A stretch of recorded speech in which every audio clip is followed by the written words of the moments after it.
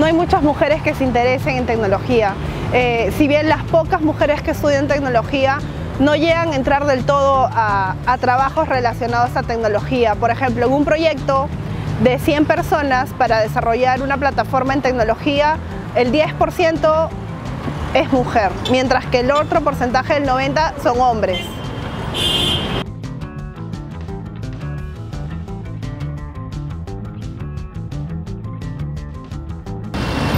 Hay una parte de desinterés también por la sociedad y la cultura en la que estamos. Eh, no hay un reforzamiento para que todas las personas estudien una carrera de ingeniería o de software o de tecnología en sí, porque piensan que es más una carrera de hombres. Es un tema de la sociedad y la cultura, pero no siempre es así. También hay iniciativas que buscan fomentar a que más mujeres trabajen en tecnología. Hay bastantes organizaciones civiles como Anita Bor, que es una ONG de Estados Unidos, que se preocupa por empoderar mujeres en tecnología y que hayan más.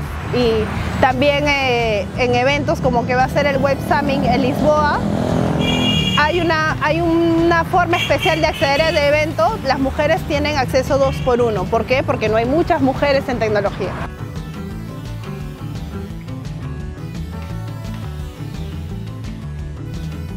Eh, pero sí he sentido que a veces en proyectos tecnológicos eh, los compañeros eh, que son hombres a veces son condescendientes con otras compañeras mujeres o hasta conmigo misma porque asumen que las mujeres no van a poder lograr algo.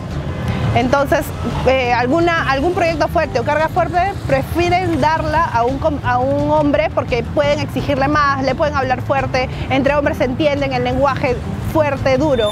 En cambio, una mujer también puede hacerlo. O sea, eso va, es una actitud condescendiente, hay actitud también este tipo bullying que a veces puede existir, pero no creo que las personas estén del todo conscientes de aquello, ¿no? Y puede pasar tanto para hombre, para mujer, pero sí, hay una actitud condescendiente en el rubro de la tecnología. Yo pues explico a mis compañeros y les digo, esa actitud no está muy bien, eh, podrías decirlo de otra manera. Más que todo es necesario el tema de la empatía, porque si mis compañeros eh, podrían asumir que cómo yo me podría sentir sería distinto. O sea, la empatía tiene que ver con eso y de cómo se siente la otra persona. Entonces yo por ser mujer no es diferente en un rubro de tecnología o en algún proyecto en específico.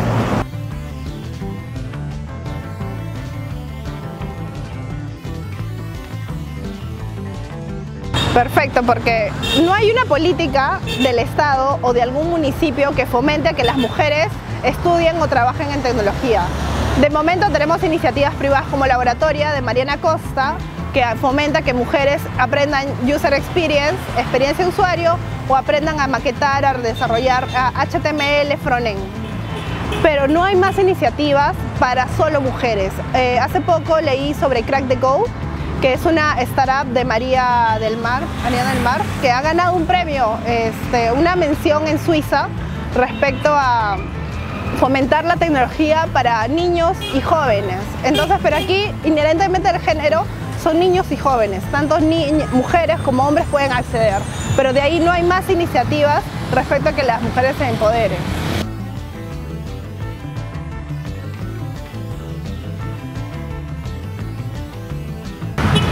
Le diría a las mujeres que no tengan miedo, que pueden hacerlo, porque yo teniendo 30 años ahora estoy aprendiendo ingeniería de sistemas de recién. Estoy lidiando con esa ciencia dura, por así decirlo, pero no es duro, porque si realmente te llama la atención, tú vas a seguir y vas a aprender. Y no tengan miedo y pregunten, que busquen en internet, hay comunidades como la que yo pertenezco, que es Woman in Technology Perú, que fomenta que más mujeres estén en tecnologías, damos talleres gratuitos de, enseñanza de Python. Eh, también hablamos sobre eventos mensuales para fomentar el acceso y no solo presenciales, sino también online. Tú teniendo una conexión a internet puedes acceder a tecnología con Woman in Technology Perú. Pueden buscar WIT Perú, WIT Perú y ver más.